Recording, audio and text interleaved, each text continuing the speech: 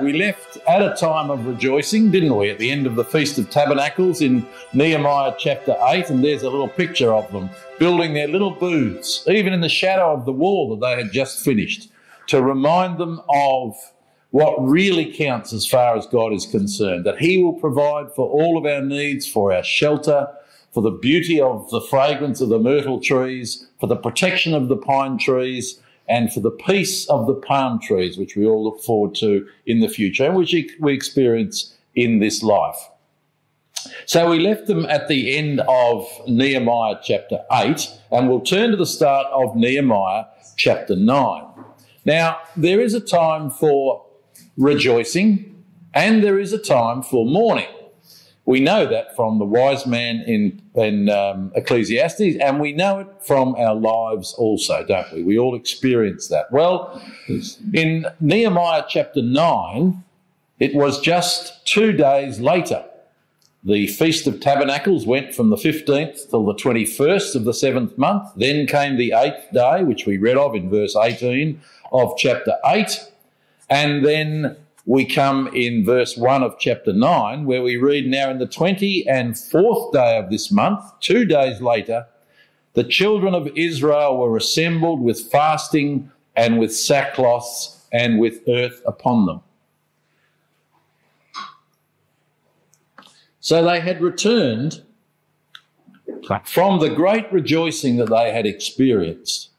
It seems that they had then reflected on their own lives, the reality of their lives. And we do that. We share in equal parts with rejoicing in the truth, but also with reflection and sometimes with mourning at the way each of us, perhaps individually, have behaved. And that never ends in our life in the truth, doesn't it? It doesn't matter what age we are. Uh, and I've probably made a few ageist comments this weekend, so I apologise for that. But I know as I get older, I realise that the problem's never going to go away. There's never going to be a time, and we do have some young members of the audience, but there's never going to be a time when I can say, yes, at last, I've conquered the problem of sin. It just won't happen. And for the children of Israel, after the great rejoicing of chapter 8 and looking forward to the future and all the blessings of God, they then came to reflect upon their own lives again. And of course, as happens when we examine ourselves, they realised that they were falling short of what they really wanted to be in service to God. And so, in verse 1 of chapter 9, fasting with sackcloth and earth upon them returned. And the seed of Israel in verse 2 separated themselves from all strangers, foreigners, and stood and confessed their sins and the iniquities of their fathers. So it seems that what had happened is buoyed with inspiration from all that Ezra had taught them and the other Levites, and the great experience of rejoicing of the Feast of Tabernacles and the eighth day, which spoke of the kingdom and the millennium and beyond, they then reflected on their own lives. They looked around at their own ecclesial environment and they saw that the problems that Ezra had sought to correct for them 12 years before hadn't been totally corrected, as the problems in our lives are never totally corrected. There were still strangers amongst them. There was still that problem of mingling with the world, and that was impacting on their behaviour. And when they saw that, they again repented. And the action that they took in verse 3 was very good. The response to that repentance was they stood up in their place and they read in the book of the law of Yahweh their God one fourth part of the day. And another fourth part they confessed and worshipped Yahweh their God. So they went back and did the same thing like we do, week after week after week after week after year after decade. We continue to come back around the table of the Lord to examine ourselves, to be disappointed with how we've fared, but to think about the salvation of our Lord, that burnt offering that is on the table every week for us. And we leave, hopefully, from a memorial meeting once again buoyed and rejoicing in the wonderful hope that we have. And we come back the following week. And this really, in, a, in essence, is what they were doing here at the start of chapter 9. They had reflected on their own lives and they saw that they had let God down. And so a process began that we're going to see led to a renewal of a form of a covenant with God by this people. And I think that's a good example for us too. The first thing they did was to pray. And from verse uh, 6 down to verse 38 of Nehemiah chapter 9 is a wonderful prayer that was prayed on this occasion. Now, at the start of verse 4, it says that the Levites stood up. I'm not going to attempt to read all of those names because our reading brother did such a wonderful job. and he did. But all of these Levites stood up. Now, the RSV at the start of verse 6 inserts the words, and Ezra said. Now, I'm not sure whether Ezra actually prayed this prayer or not, but I think if he didn't pray it, in all probability, he wrote it out and the Levites read the prayer that Ezra had written. I think this was Ezra's prayer.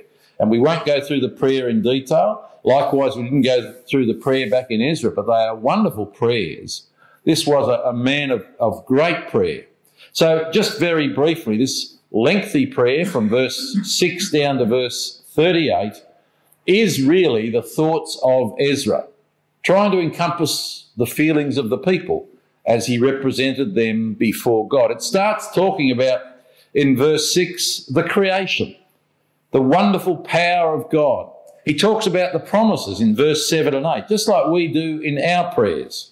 He talks about the salvation of God, how that he had saved them from Egypt. He says in verse 17, Thou art a God ready to pardon, gracious and merciful, slow to anger, and of great kindness, and forsookest them not. And we remember the character of God before him, don't we? He's revealed himself to us as merciful, gracious, long suffering, abundance in goodness and truth. So we do well in our ecclesial and private prayers to remember to God what He is. He likes us to do that. It's not repetitive, it's not disrespectful, it's what God loves to hear. And then down towards the end of the prayer, it contains confession in verse 34. They said, Neither have our priests, our princes, our, our kings, our princes, our priests, nor our fathers kept thy law, nor hearkened unto thy commandments and thy testimonies wherewith thou didst testify against them. For they have not served thee in their kingdom, and in thy great goodness that thou gavest them in the large and fat land which thou gavest before them, neither turned they from their wicked works. It was a very solemn, sincere, and honest confession. And then at the end, behold, we are slaves this day. And for the land that thou gavest unto our fathers to eat the fruit thereof and the good thereof, behold, we are slaves in it. And whilst life for those that went back from Babylon, uh, enriched by the contribution of the king on their journey, nonetheless, the reality was they were, will, they were servants or slaves of the Persians. Verse 37 It yieldeth much increase under the kings whom thou hast set over us because of our sins. Also, they have dominion over our bodies and over our cattle at their pleasure, and we are in great distress. So, as much as through Ezra they had received great blessing from the king, Nonetheless, the reality of the situation was that they were still slaves of the Persian Empire. And all of the good of the land which they were experiencing didn't really belong to them anymore. So that which they had once had had been taken from them. And they felt that and they confessed that. But up in verse 33, they said something very important, something all of us say and acknowledge. They said, Howbeit, thou art just in all that is brought upon us. For thou hast done right, but we have done wickedly. And of course, that's a key to serving God, isn't it? It's to, declare the righteousness of God. And that's what they did. Thou art just. You have done right, and we have done wickedly. And really, in part, that's one of the foundations of what it takes to serve God in spirit and in truth as represented by the life and the words of our Lord Jesus Christ, who, though he faced horrible suffering, in the end, of course, bowed himself to the will of his heavenly Father and declared God's righteousness. So these people have been brought to a wonderful position by that Bible school, by the work of Ezra and others and Nehemiah, in helping them to come to this position that God, you are right, and we were wrong, and we are still suffering because of that wrong. But that doesn't mean that God, you are wrong. They have great hope for the future, but they also have great honesty about the present. Now, what they did in chapter 10 was basically to put together not a replacement covenant for the law of Moses, but a summary from themselves, a kind of statement of faith, if you like. I've mentioned the statement of faith a couple of times. Um, the statement of faith, of course, is a helpful document. Um, I think it's a very, a very helpful document. And sometimes these days I hear uh, people critical of the statement of faith uh, or make other comments about the statement of faith. Well, it's certainly not divinely inspired, but it's been a very helpful document for our ecclesial world for many years. And so um, I think this is the sort of thing that they were putting together now in Nehemiah chapter 10. Verse 38 of the previous chapter, at the end of that great prayer, they said, And because of all this, we make a sure covenant and write it. And our princes, Levites, and priests seal unto it. So they had the law of Moses. And they were well taught in the law of Moses by Ezra, but they wanted something extra. They wanted to write down something that they felt they wanted to offer to God uh, as their basis of service, if you like, their basis of fellowship. And it contained nine provisions. We won't go into them. They saw the problem of alien marriages. And so part of the covenant, part of the agreement was that alien marriages were forbidden, that they would observe the Sabbath, they would observe the year of release, the Jubilee. They would observe the annual payment that was specified under the law of Moses, the price of redemption. The wood offering would continue. The first fruits of their crops and herds would be paid. Tithes would be made available for the Levites and provision would be made available for the temple and the temple workers. So they put in place that very simple document, an agreement that they, they wanted to make with God in addition to the law of Moses, which they already understood. And the governor signed it, the priests signed it, the Levites signed it, the chiefs of the people signed it, and the people themselves signed it. This was their response to, I suppose, their self examination, their understanding of where they'd gone wrong, their appreciation of the blessings of God, the education they'd received from Ezra and others, all of this culminated in this document. And I don't believe it was a document that, that God was displeased with. In fact, I think quite the opposite. He was very pleased to see his people reflecting on their ecclesia and saying, well, these are the things that we want our ecclesia to stand for. And so, un- unfortunately, of course, like all of us, and I suppose like all ecclesias, as time went by, um, they broke many, many of the things that they had agreed they could that they would do, and we all do that. But it was a good start for them uh, in chapter 10, and a further testament to the work of Ezra. All right, so the Old Testament ended with the Jewish people re established in their land, as we have seen, in a very great part due to the work of Ezra and those other good figs that Jeremiah had spoken of. When we think that during the time from Malachi to the Lord Jesus Christ, the people of Israel now would live under six different forms of government. The Persian Empire was ruling at the time of Ezra, but they would pass. Then would follow the Greek Empire, then the Ptolemies of Egypt ruled for a time. The Seleucids of Syria took over for a time, and of course, Antiochus the Great came into Jerusalem and defiled the temple. There would be a period of self rule under the Maccabees, albeit with the oversight of the Romans. And then finally, the Romans themselves would take over the rule of that land, all in the next 400 or so years. And each of those different empires brought their different culture to the Jews. The Persians, the Greeks, the Romans, the Ptolemies, they were all very different and they all brought pressures into ecclesial life.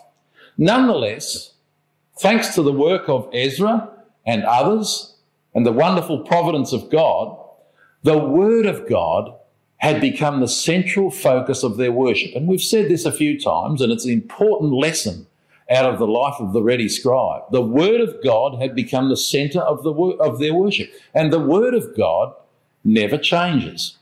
So the Bible became their inspiration as they waited for the Word made flesh to be manifest amongst them.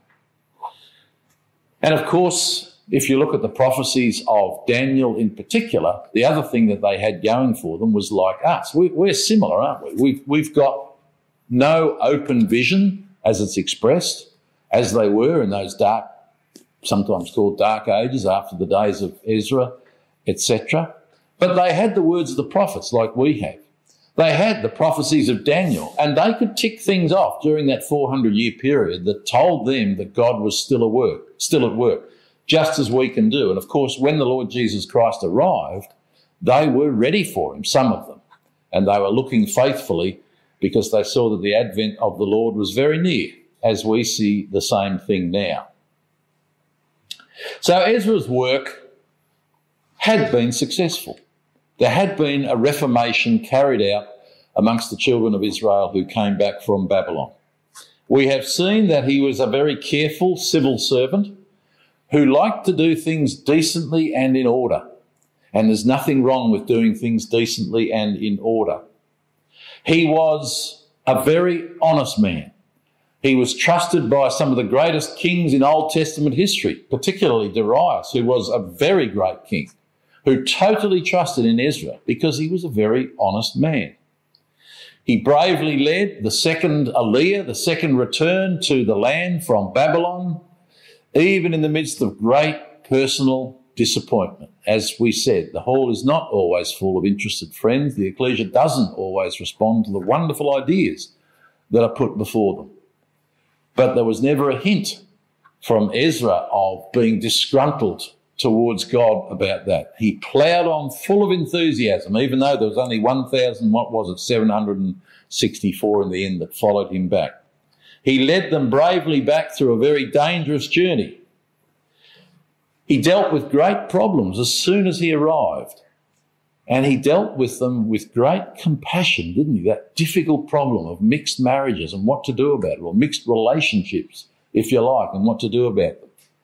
He fell on his face in humility, and the people responded and said to him, Whatever you want us to do, we'll do it. We can't lead ourselves out of this position, Ezra, but we believe that you can. And if you are brave enough to do it, we will be brave enough to follow you. And he provided a mixture of compassion and firm direction. He convinced the people to turn away from false women and to worship Yahweh. They joined him in prayer to God, prayer of confession, and they fell in love with their Bible to the extent that they, they stood up and stayed standing up for six hours. Amazing. And they did it again and again and again. Not that standing up was important, at all. But that they were just overcome with the emotion of the occasion, um, and probably the tall ones wanted a better view. I can understand that. So they stood up. They fell in love with their Bible. And I think all of us are in love with our Bible. I really do in the conversations that we've had. And we want to make sure that we pass that feeling on to future generations. And there are some wonderful brothers and sisters who are younger who also love their Bible. And it's a great thrill to see that. And we want to make sure, young and old, that we share with others the great passion that we feel for this wonderful book. In the end, they agreed to a covenant, a, an agreement amongst themselves and with God to say, this is what we will do to follow you. So they were a great example. All of these things are a great example to us. And whilst we're not in exactly the same situation as them, it's a similar situation, isn't it? It's a period of waiting, in some ways of darkness. We have no open vision, although we have more than enough prophecy to excite us as we await for the return of our Lord. But we also have great pressures on the ecclesia pressures from within, pressures from without. And they had the same pressures. As I said, it, it's very encouraging to see the ecclesia in this age and in every age facing similar pressures and doing similar things. They got together in Bible schools and Bible classes and conferences and they had people break the word down small for them. we're not reinventing anything. We're simply following in the way that the ecclesia of God has always followed. And I find that very comforting and very helpful. We saw that in a word, there were three figures that were outstanding in that era of all of those good figs. And we said that Jeremiah was for preparation, that Daniel was for continuation, and that Ezra was for reformation. And I wonder when I read those things, what I wonder what my word is. Or I wonder what your word is. What is your talent? What is my talent? There might be several of them, but we can summarise the talents of those men, and there are a myriad of things that we can do in the ecclesia that we are talented at doing. Remember all those, remember the description of the knives and the spoons and the bowls and the basins and all of the things that Ezra wrote down very carefully. It doesn't matter what our service is in the truth. If we do that faithfully and enthusiastically, it all means the same to God, and He is thrilled to see that as he was to see the, the, the works of those three very faithful men. Jeremiah had called them all good figs, and God said he was, would set his eyes on them for good, and so he did. What Ezra wrote was true. The good hand of God was on them. They survived and they prospered for a time. And he will continue to be with all of those who want to follow him in spirit and in truth. And so we come to our day and the clock ticks on, doesn't it? As we await the return of our Lord for the day when we will see all of these people again. And so we want to see the example of Ezra and try to follow that example. So I hope it's been good for us to be together this weekend. We've enjoyed it very much. We thank you for your hospitality and for getting to know some of you. The um, accommodation we've been provided with has been superb, and the hospitality of Ken and Sue is wonderful, as I'm sure you all realise. And it's lovely to get to know those at Southport a little better. So thank you very much. And it's nice to think of ecclesias in different parts of the country and around the world who we're all doing basically the same things. And I find that very comforting. It's like when I see people that I haven't seen for 10 or 20 or 30 years, and you come across them at a conference or a Bible school, and you think, well, there's someone that I knew a while back, and they're still enduring, they're still going.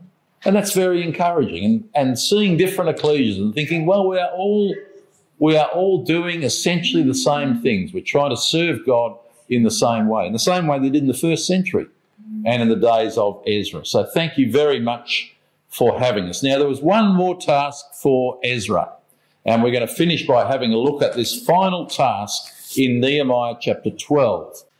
And this was the ceremony of the dedication of the wall. In verse 27 of Nehemiah chapter 12, at the dedication of the wall of Jerusalem, they sought the Levites out of all of their places to bring them to Jerusalem to keep the dedication with gladness, with thanksgiving, with singing, with cymbals, psalteries, and with harps. So this was a great occasion of rejoicing. The altar's finished, the temple's finished, the wall's finished, We've got a new um, covenant that we've made with God, which is not in place of the law of Moses, but it's just something that we have wanted to agree to, to rededicate ourselves in the service of God. It's a wonderful time. So, so we might ask who was to be the leader of this great ceremony. And we know that there were two leaders of this great ceremony. One of them was Nehemiah, and the other one, of course, was Ezra. By now, a very old man, getting towards 90 years of age. But nonetheless, a man still alive with the things of the truth. And they went forward in two groups. We read about that in verse 31 and then in verse 36 to 38. So let's just, we won't worry about reading all those names again. Let's trace the steps that they put. There's a, a little diagram of the walls of Jerusalem that they were there to dedicate.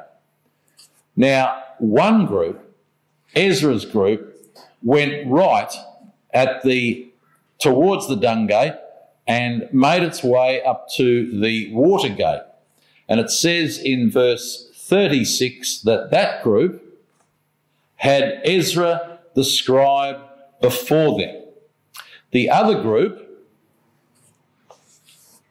went in the other direction, and we, as a, again, we're not going to go through the details of all of their names. They went at the uh, in the other direction, and they came to the prison gate, and it says that Nehemiah was following after them in verse 38.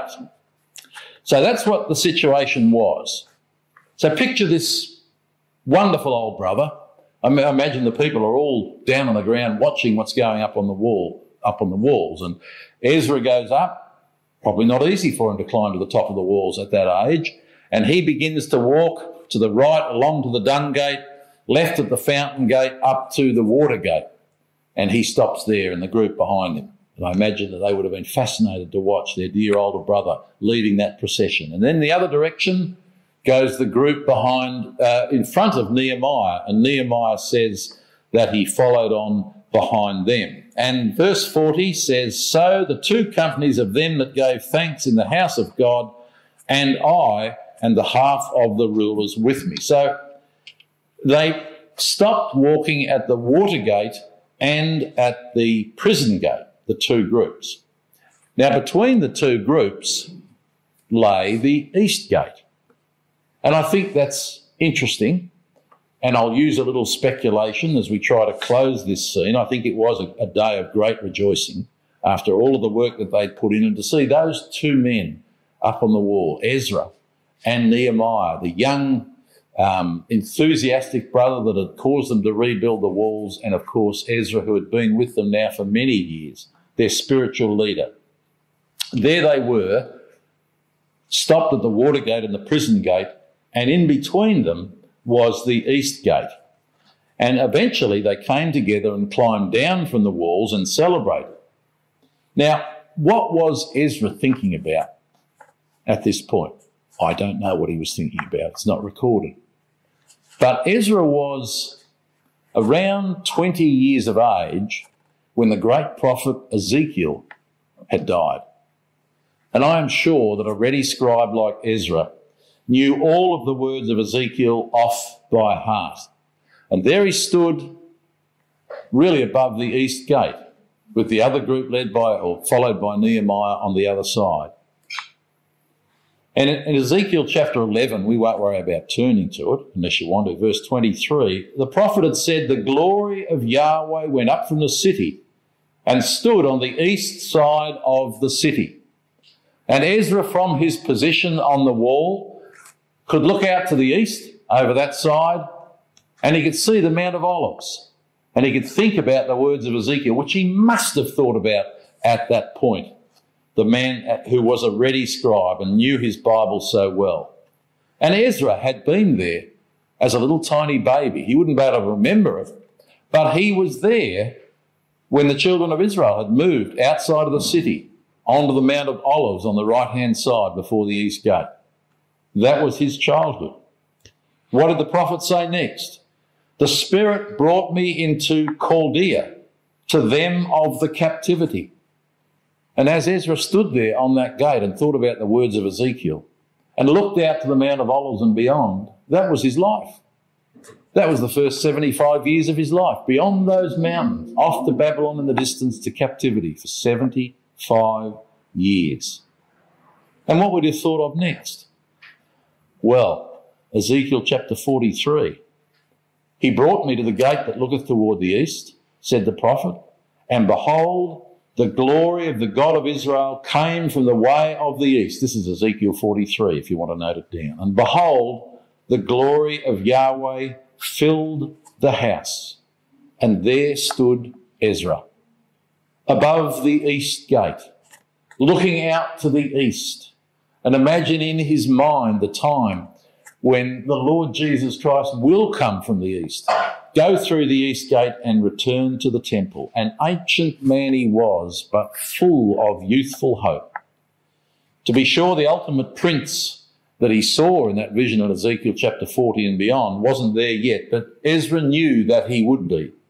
And he knew that in the grace and the mercy of God, he would be there to see it. So it was in verse 43 of Nehemiah chapter 12 They descended from the walls and they offered great sacrifices and they rejoiced. And it says, so that the joy of Jerusalem was heard even afar off. What an occasion it must have been. And that's the end of the life of Ezra, the ready scribe. He was ready to serve God when his moment came. In his case, it's 75 years of age before we hear of him.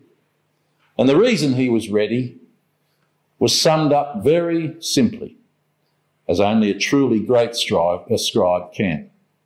Ezra had prepared his heart to seek the law of Yahweh and to do it and to teach in Israel statutes and judgments.